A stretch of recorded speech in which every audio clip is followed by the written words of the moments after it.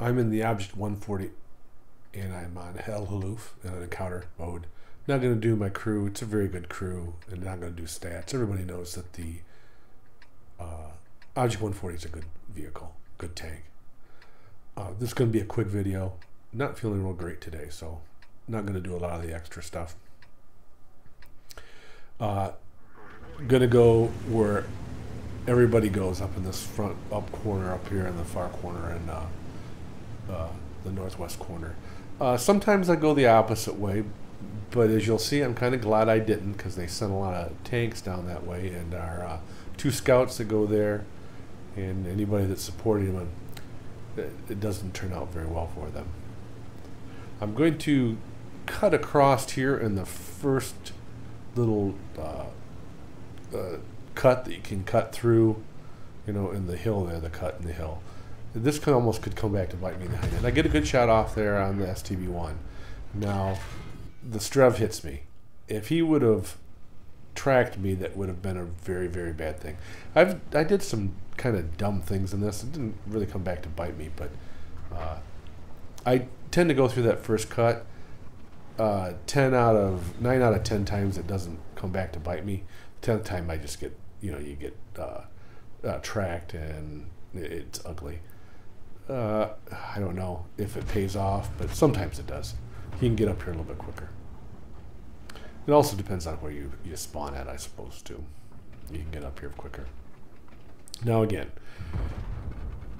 the T10 shoots. I sit here and I sit here and sit here hoping something else will come through. And uh, you'll see he disappears in a second. And it disappears. And uh, what do I do? I, I, guess I'll go right now. Well, he pulls up forward, and I I take 416 damage of stuff I, uh, I shouldn't have taken. Really pretty stupid of me. I should have either gone or waited until he fired again. So, again, I, I did one thing that could have came back to bite me, but that was pretty stupid. So I'm going to try to push on him a little bit to help our team make it over into this little uh, valley here between the two mesas. Then I realized that we our guys have been capping, so they've put some pressure on the cap, and these two, the Scorpion G and the STB-1, comes to stop it from being capped. Now, this is really not the place you want to be, especially if the enemy team controls this little cut here. Now I'm taking shots from the uh, Revolutionnaire or the M40, uh, basically the the heavy duty uh, Sherman. Now I should have shot the the light tank right then, and I probably would have got a kill on the light tank. But I took a shot at the the STB1. And that's the last. Oh, STA STA one, ah, STB one. Yeah, well, I'm crap. So and uh, so that's that's it for those guys down below. We, me and the FE 402 just beat the crap out of them. Now, I'm thinking that I'm no longer spotted. I can probably sneak through here and not take too much damage, or if any. The Scorpion G, the uh, TVP is hitting him from the center there. Now, I want to track the i7 so I'll get some uh, tracking damage on him. And I'm trying to set him on fire. Three shots, and he must have just decided, well, this is it, and just logged off or just sat there. This is, I'm not going to survive this.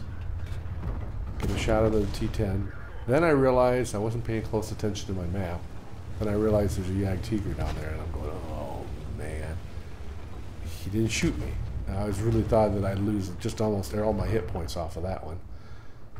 And uh, keep on taking shots at him. Now I'm up to five kills. I'm thinking uh, probably, I'll probably get a top gun here in this. Now, this, I hit a little spot where I was wobbling back and forth and kind of rushed my shot. So do I get the kill on this? Yes, I do.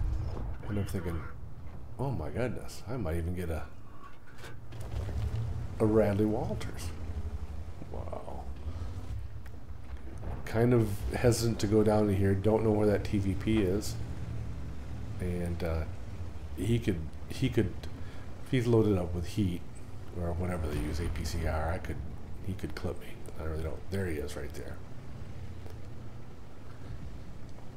So I'm going to go over to the other side. Most of their teams, I know the the uh, the Revolutionnaire or whatever you call it, the French uh, uh, medium with the funny uh, brake muzzle on the uh, gun is down there. Well, there, there he is.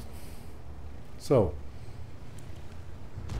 I'm thinking, where is that little uh, AMX?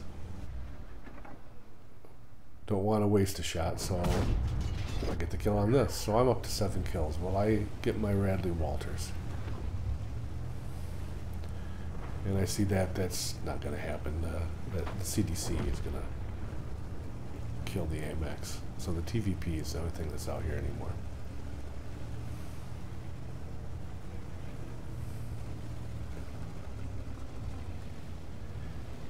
And uh, the ISM's an enemy, so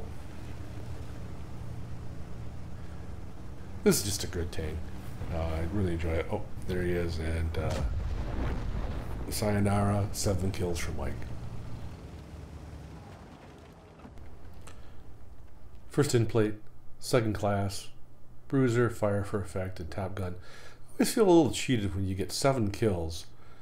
Uh, you're just a top gun. If you get eight kills, it's Radley Walters. You get nine kills, it's a Pools. But if you get, it's Top Gun if you get a six or seven kills. I don't know. That just seems kind of anticlimactic, I guess.